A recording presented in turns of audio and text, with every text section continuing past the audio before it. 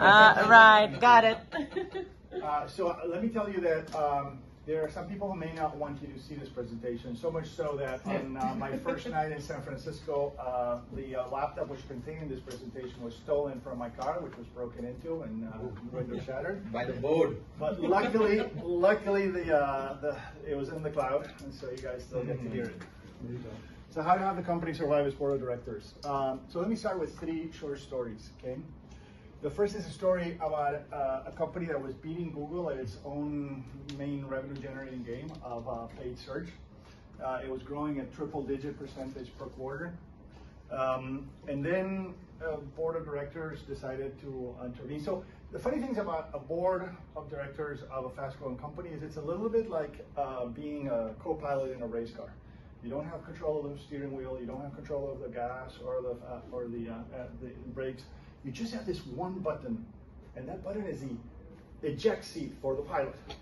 Okay, that's the one thing you can do. And so you can't drive, you know, and you're you know going here and there, and at some point you're like, I, I gotta try something. I got, I want to do something, and they press that eject button and see what happens. And guess what happens most of the time when you press the eject button? Uh, a pilot in a fast-moving car. So this is what this board uh, decided to do and ended up uh, with a, a, new pilot or CEO that uh, lied to the board, and the board said, "I don't care if it lies." And and soon after, the company uh, was sold uh, with 100% wipeout of common the majority of shareholders' value and 97 uh, decrease in the value of the firm. The next story is uh, about a company that. for over a decade grew every month and every year, year over year, over 50% a year. It won 10 or more than 10 awards at the national and global level. It impacted the lives of hundreds of millions of people positively. Um, and uh, then again, one day the board decided to press that really tempting button.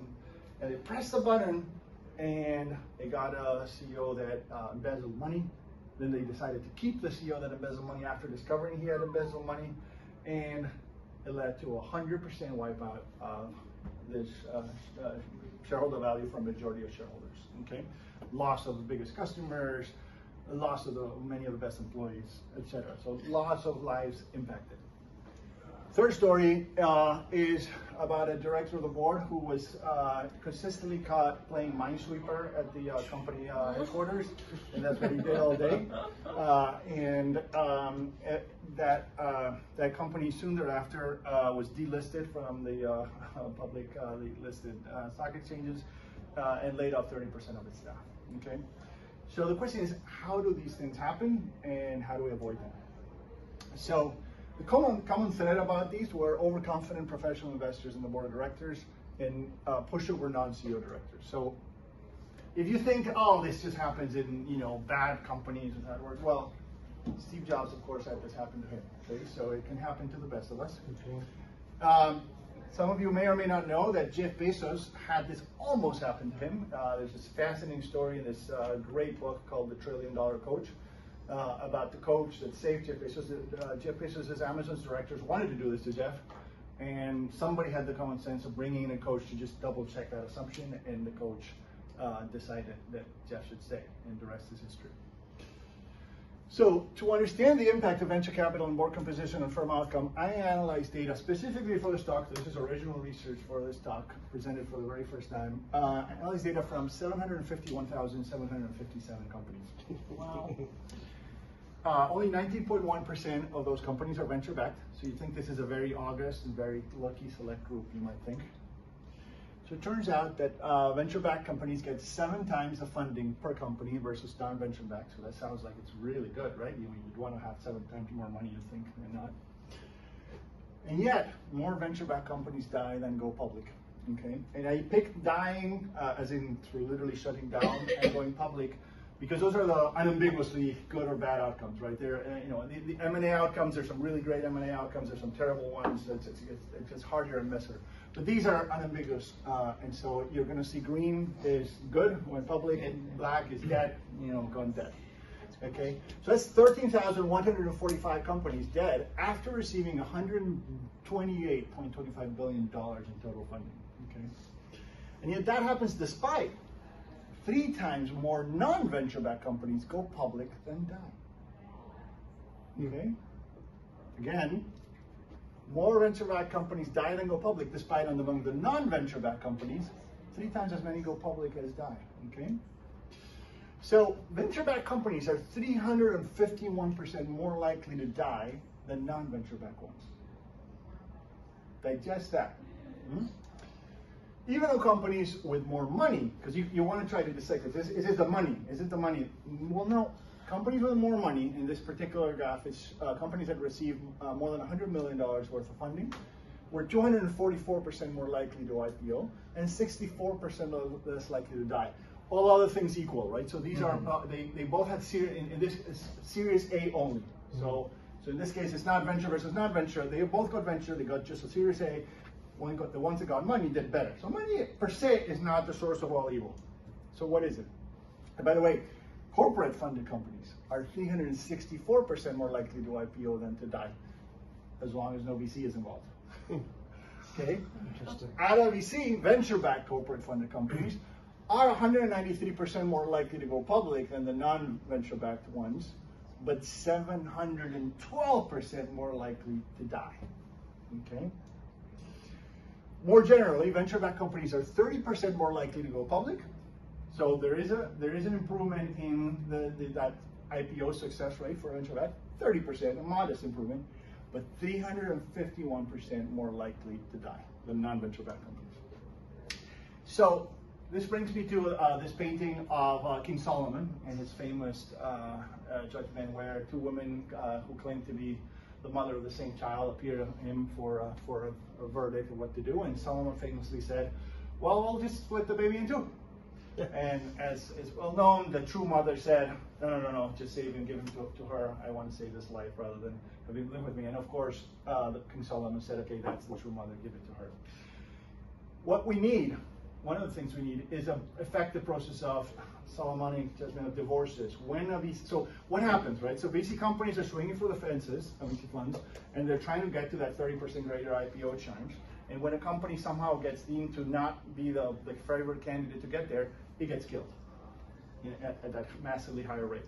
And just like the, the, the woman who was not the mother, right? And what the VCs ought to do is they ought to be like the true mother who say, you know what, I'm no longer involved, I don't no longer interested founder, take it over. Mm-hmm. Take it over. We don't need to kill it just because it's not going to make IPO, in my judgment, right now. Okay, that's the Solomonic pledge. We'll get to that. The Solomonic pledge is: I will not invest in funds that funds that don't pledge to proxy their shares to founders before killing a company, which is a significantly a very, very uh, common event. Now, interestingly, if you you know, what does a venture capitalist do for a living? Sort of allocate capital the average venture capitalist wastes a higher percentage of capital. So it's not just about like picking winners, waste a higher percentage of capital than backers of non-venture backed companies. So almost 15% of capital from VC backed companies is wasted on companies that end up dead uh, versus uh, less than 10% among the non-venture backed companies wasted there. So why do these VC backed companies die 351% more often? Companies are, of course, ruled by the board of directors. People tend to think, oh, it's CEOs who uh, rule companies. No, it's not CEOs, uh, it's board of directors. And so board composition really matters. Now, when you fly in a plane, you probably wouldn't dream of having the plane flown by the person who got the money to buy the plane. You want a pilot. And when you want your heart operated on, you probably don't want the person who secured the funds to build a hospital to be operating on your heart you want So why this this has this specialization of labor that has reached most areas of the economy, mm. not reached board of directors yet. Most important job of a board of directors is evaluating, hiring, and firing a CEO. And so, in my personal experience, 100% of the blunders I have made by and seen by non I have seen made by non-executive directors were made by non-CEOs. So my hypothesis, wild hypothesis, was well, perhaps the best qualification to evaluate a CEO is to be or have been a CEO. Maybe it helps to know someone, to uh, to you know, to be someone, to, to, to know someone. And so to test that hypothesis, I carried out comparison. On the one hand, I looked at the 10 companies that had raised the most amount of money. These are the Airbnbs of the world. Companies that have raised, you know, huge amounts of money would not have gotten there without being successful. Uh, collectively, they raised over $50 billion. And on the other hand, I looked at all the startups that shut down last quarter, okay, died. On the left are the 10 companies that raised the most money, and the, on the right are the companies that failed. You can see that the percentage of CEOs in the boards of the successful companies are more than twice, but more than 250% in the, the number of CEOs uh, in the boards of the companies that failed. And conversely, the percentage of investors, uh, professional investors, people who's dedicated their life to manage other people's money, uh, as opposed to any kind of operating role, academic or legal, they they are uh, more than you know, or about twice as about many uh, the number of investors in boards of the successful companies. Okay. If you look at the most successful of the companies of all, the, the, the half of most successful, that, that that's even more of a. Seventy-five percent of this of the uh, boards there, the most successful companies, are CEOs. So indeed, it seems that it helps to have been one to be able to recognize one. And yet, nearly two thirds of board seats filled last year were taken by someone other than a CEO. That's data from Korn Ferry. So this, so what I just showed you today is contrary to the, the common wisdom of what people are doing today in companies uh, around the country and the world. Now let me clarify that this doesn't mean that every investor is, uh, is, is a bad thing to a company, right? You just have to know what you're doing if you want to be in the board part of it. Doesn't mean that there's not a role for people raising money, which is a, you know a completely different kind of job than running a company. Uh, and so this brings me to my second pledge, which is the professional director's pledge. I will not invest in companies or funds that have people who are only professional investors as directors. Okay, division of labor. And so, how do how do we implement this? Uh, simple, with a pledge or a rider to professionalize the board.